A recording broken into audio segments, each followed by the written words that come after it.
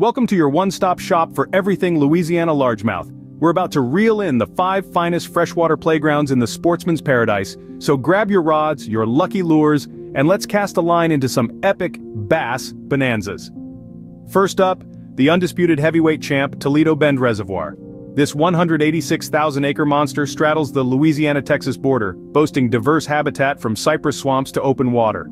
Shoreline parks like Shell Beach and Pleasure Island offer launching pads for epic bass battles. Toledo Bend's a trophy bass factory, churning out lunkers over 10 pounds with ease. The record? A whopping 13.82-pound brute. Top lures here include crankbaits, spinnerbaits, and soft plastics like worms and lizards. But be warned, Toledo Bend's temperamental, so adjust your tactics with the wind and weather. Next, we head north to Caney Lake, a 20,000-acre gem in Jackson Parish. Caney's known for its thick hydrilla beds and lily pads, perfect for ambushing hefty bass with frogs, swim baits, and topwater poppers. Don't be surprised if your rod bends double with a 10-pounder here. Caney's current record sits at a neck-snapping 13.47 pounds.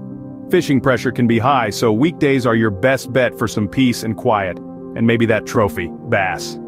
And don't forget to check out Caney Creek State Park for camping, picnicking, and some post-fishing relaxation. Now we're getting into some hidden gems. Bussey Brake in Morehouse Parish reopened in 2020 after a major restoration, and boy did it come back with a vengeance. This 9,000-acre cypress wonderland is teeming with Florida strain largemouth, known for their fight and girth. The record here is a hefty 12.75 pounds, and with the healthy fish population, that number's bound to keep climbing.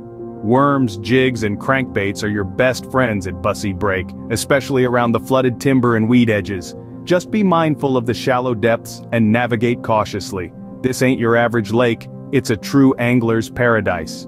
Thanks for watching and have a great year fishing. Like and subscribe.